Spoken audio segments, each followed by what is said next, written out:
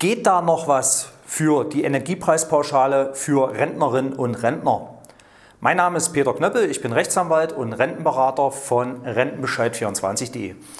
Ich hatte in einem Video kurz erläutert, dass der Bundestag am 12. Mai 2022 die Energiepreispauschale zum 1.9.22 beschlossen hat.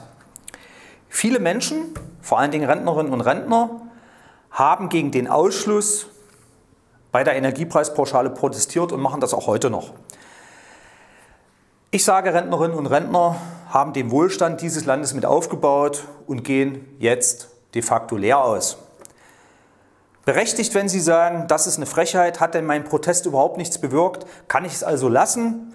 Die Bundestagsabgeordneten der Grünen, der Sozis und der FDP, die hören ja sowieso nicht auf mich. Glauben Sie das bitte nicht denn sie sind sehr wohl gehört worden. Rolf Mützenich, ein sehr einflussreicher SPD-Mann, nämlich Fraktionschef der SPD, deutete in einem Interview vom 11. Mai 2022 weitere Entlastungen für Rentnerinnen und Rentner an. Ich zitiere, Möglicherweise werde die Koalition noch einmal die Gruppen in den Fokus nehmen, die nicht konzentriert von den jetzigen Entlastungspaketen profitieren. Das betrifft Rentnerinnen und Rentner. Dies werde angepeilt, wenn zusätzliche Entlastungen notwendig sind und darauf deuten auch die neuesten Zahlen hin. So sagte es Fraktionschef Mützenich. Und was die neuesten Zahlen sind, das dürfte doch klar sein. Wir haben aktuell im April 2022 7,4 Prozent Inflationsanstieg. Das ist die höchste Preisinflation seit 40 Jahren in einem Monat. Und weitere angekündigte Preissteigerung bei Strom, Gas und Öl.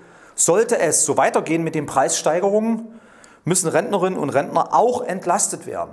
Das ist völlig klar. Die Rentenerhöhung 2022, die zum 1.7. diesen Jahres kommen wird, wird wegen der gestiegenen Inflation sage und schreibe verpuffen. Sie wird keine Wirkung haben im Portemonnaie unserer 21 Millionen Rentnerinnen und Rentner. Daher an Sie nochmal, machen Sie weiter Druck. Es kann sich lohnen.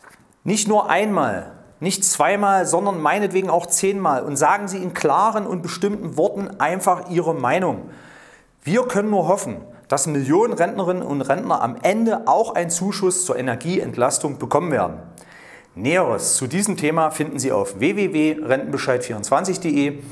Ich wünsche Ihnen eine rentenstarke Woche. Ihr Rechtsanwalt und Rentenberater Peter Knöppel.